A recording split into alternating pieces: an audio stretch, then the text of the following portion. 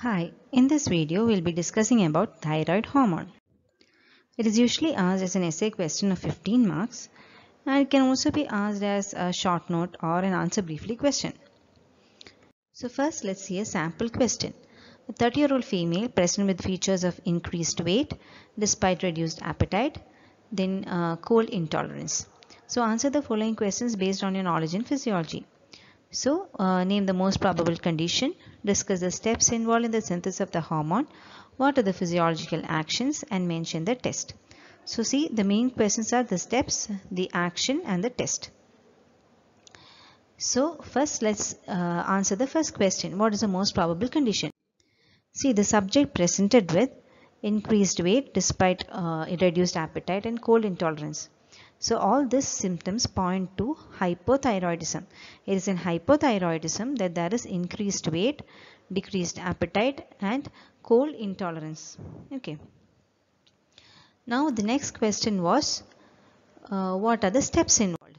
So let we know the basic steps in the synthesis, uh, synthesis of thyroid hormone are iodide trapping, conversion of iodide to iodine, thyroglobulin synthesis, coupling reaction, proteolysis of thyroglobulin and secretion of thyroid hormone. So whenever synthesis is asked, it is important that you also draw a diagram. So this diagram is taken from the textbook of physiology by Guyton and Hall. We'll just quickly see how we can draw it. So first you can draw an outline of the thyroid cell and then we know the first step is iodide trapping, right? So it is it occurs via the channel called sodium iodide symporter. So this particular channel transports iodide against a concentration gradient and this is called sodium iodide symporter and for this it requires energy. So there's a sodium potassium ATPase pump to help this sodium uh, iodide symporter. Now so this was a first step. Now our second step is conversion of iodide to iodine.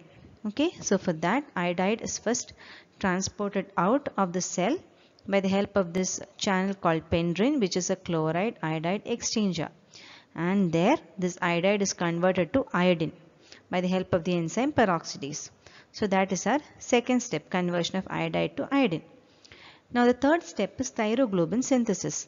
So thyroglobulins are produced from tyrosine in the endoplasmic reticulum and with the help of the Golgi bodies they are thyroglobulin is formed and this thyroglobulin again is secreted into this follicular space. So that was a third step which is thyroglobulin synthesis.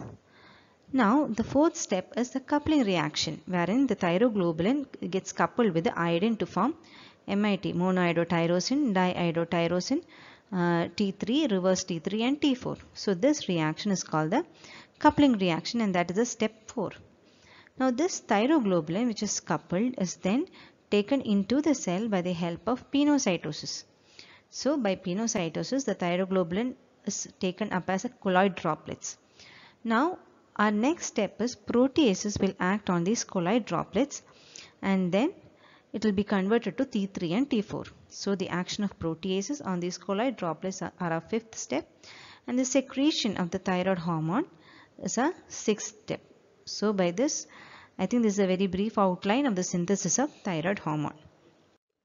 Next we'll see some physiological actions. So the thyroid hormone has effect on the basal metabolism, it has effect on the intermediary metabolism, it has effect on growth and some systemic effects. So you can remember this by the mnemonic big effects wherein B stands for the basal metabolism, I for intermediary, G for growth and effects for systemic effects. So now let's see one by one. So let's see the effect on the basal metabolism. So in general, thyroid hormone increases the basal metabolic rate and it does so by increasing the sodium potassium ATPase activity. It also acts on the mitochondria and increases the synthesis of the mitochondrial cytochromes. So in general, because of this increased basal metabolic rate, there is increased consumption of the of oxygen. Okay, so uh, that is the effect on the basal metabolism.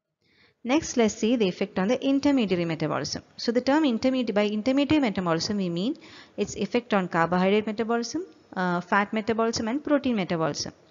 So on carbohydrate metabolism, thyroid hormone will increase reabsorption of glucose from the small intestine and in the liver it will stimulate conversion of glycogen to glucose that is why we say it is it stimulates hepatic glycogenolysis it also induces gluconeogenesis and thereby increases the plasma glucose level transiently now in fat metabolism it stimulates lipolysis and it causes a significant decrease in the plasma cholesterol level. Now this is one factor which thyroid hormone decreases which is the cholesterol.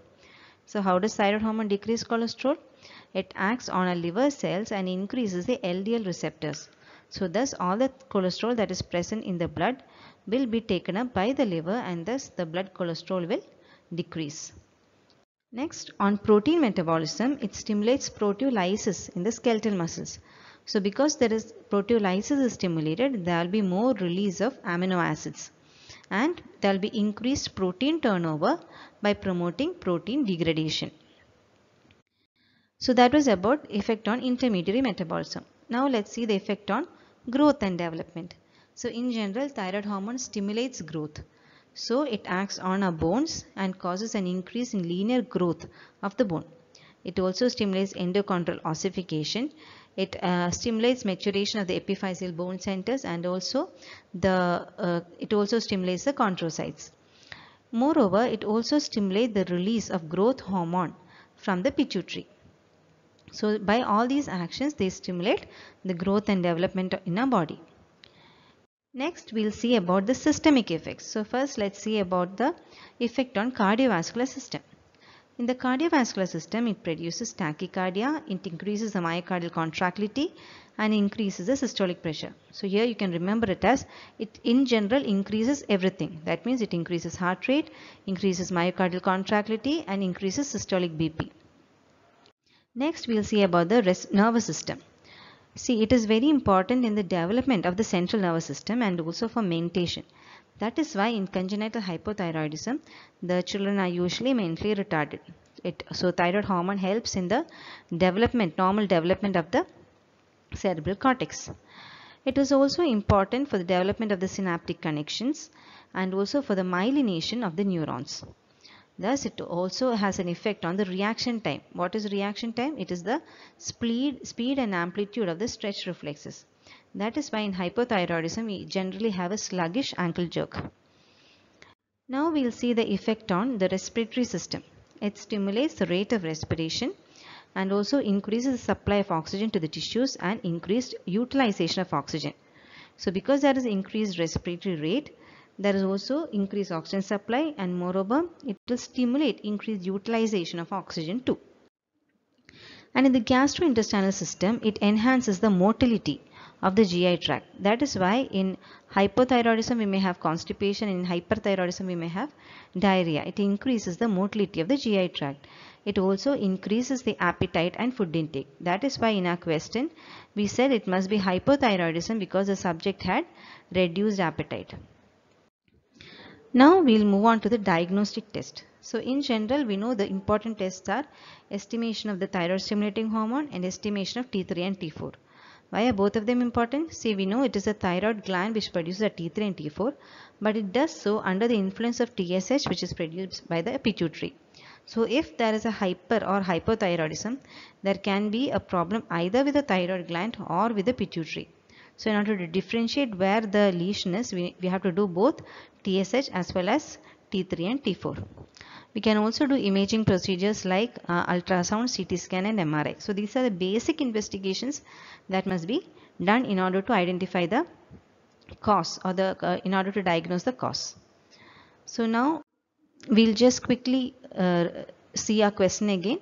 See here the patient had increased weight because in hypothyroidism there will be decreased BMR so naturally there will be increased weight gain. There will be reduced appetite because of the effect of thyroid hormone on the gastrointestinal system.